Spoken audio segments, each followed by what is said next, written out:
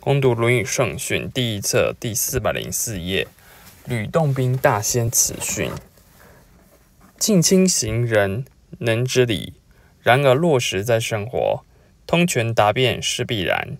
与时并进何不留？光明路，买功扶持，静后生可谓雕琢。立身见德，躬身谦恭。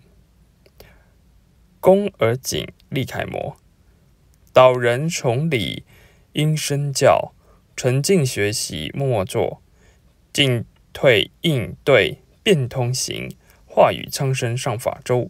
君子笃于亲，则民心于仁，而行敦厚。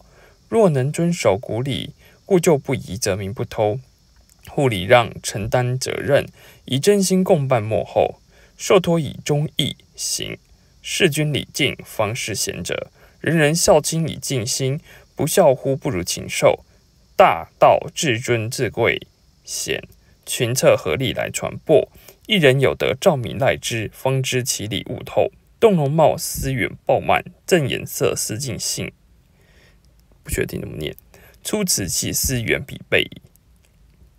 君子所贵乎道者。